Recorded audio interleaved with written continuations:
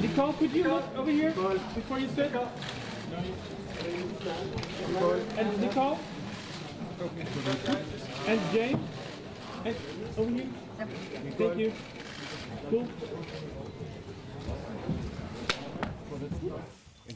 Um, I mean, I'm I'm at a place in my life where I'm looking to go to different countries, always be exploring um, stories and pushing out of my comfort zone. I don't want to be just sitting at home um, and driving to the studio to make a movie. So when Werner said, "Would I go to Morocco and live in the desert with him?"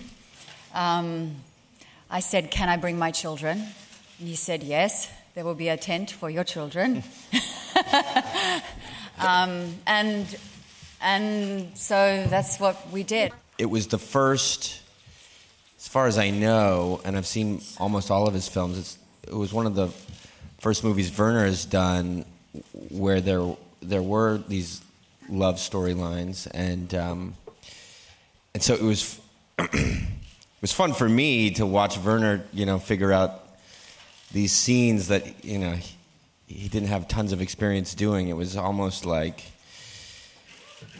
watching a master, you know, tackle something new, and and um, so it was it was just kind of fun, surprisingly. Yeah.